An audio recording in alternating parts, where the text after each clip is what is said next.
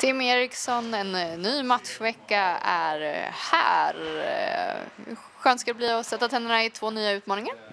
Ja, jättekul. Det är skönt att bara glömma, glömma förra veckan då i och med att eh, inte fick poängen med oss och sådär. Ändå var det väl okej, okay, men det är, ändå, det är poängen som, som räknas så det ska bli skönt.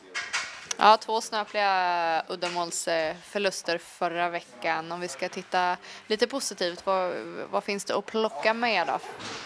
Det fanns väl ändå en ganska bra perioder när vi spelade bra i alla fall. Det är lite, givetvis måste vi bli, göra mer mål, och, eh, men det fanns väl eh, en hel del bra grejer också som, som, som man kan ta med i boxplay och försvarsspel. Det var väl ganska stabilt och sen, eh, sen hitta lite mer, lite mer mål och målchanser. Så bara.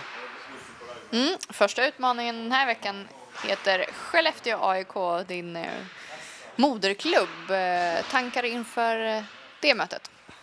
Mm, jag har mött dem två gånger nu va, hittills. Så det, nej, det är lite speciellt. Det är, det är jag växte upp och, och spelade hela, hela ungdomsåren och första senioråren så där. Så det, det är lite, lite annorlunda men det, nej, det, det är kul. Det var roliga matcher hittills och de, de två jag spelar mot dem så det, det är ett skickligt lag så det, det blir en rolig match. Många känningar i laget fortfarande? Ja, det är, det är väl rätt många ändå. Det är väl ganska många som förändras, men du har ju ja, Jocke och ligan, de är ju, de är, de är alltid kvar. Och så, ja, det finns väl en, en hel del ändå.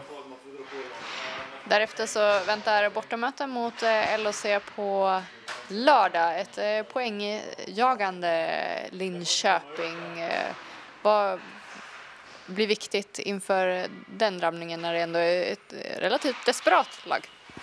Mm.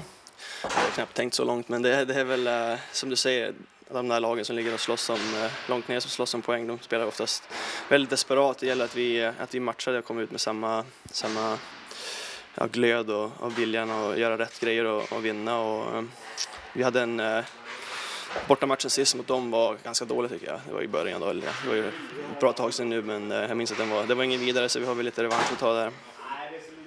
Mm, eh, på torsdag alltså hemmamatch. Eh, ni har haft ett fantastiskt eh, stöd och också visat ett eh, grymt självförtroende. Nu blev det förlust här senast. Vad, vad kommer att gälla för att ni ska hitta tillbaka till hemmaformen? Nej, men det var väl inga jätte... Jag tycker vi kontrollerade ganska stora delar av den matchen och gjorde inte mål bara och det är väl en grej vi, vi ska förändra. Det är så man vinner matcher ändå och eh, nej, som du säger, steget var det grymt. Ända från, ända från i början när vi hade, hade riktigt tungt så var det ändå, ändå bra tryck och positivt och väldigt lite burop och sånt. Så det, var, det är ett grymt bra stöd. Ja, då får jag säga lycka till i veckan. Mm, tack så du